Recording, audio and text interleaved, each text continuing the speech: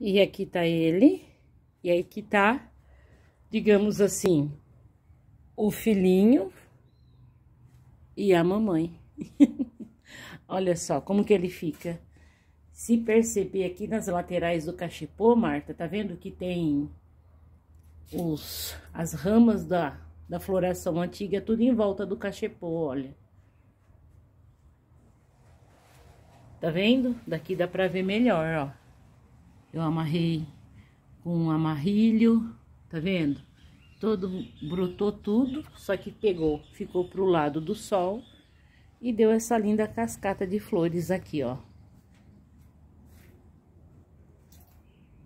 Olha que lindo. Ó, dá pra ver as ramas ali por baixo. E olha como ele aumentou.